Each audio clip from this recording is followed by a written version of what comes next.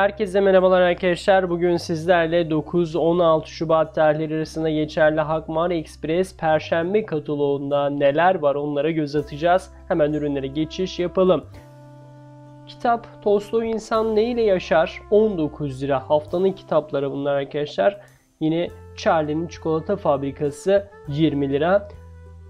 Kutulu lisanslı amigurumi kiti set şeklinde 100 liraya. Oyuncak uzaktan kumandalı araba 80 lira.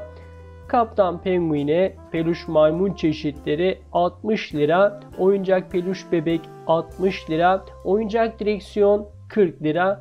Lollipop'lu kartele makyaj seti 45 lira. Ve oyuncak bebek meyveli kız 50 TL. Evet ürünler bu şekildeydi arkadaşlar. Umarız beğenmişsinizdir. Bir sonraki indirimli ve güncel kataloglarda görüşmek dileğiyle. Hoşçakalın, esen kalın.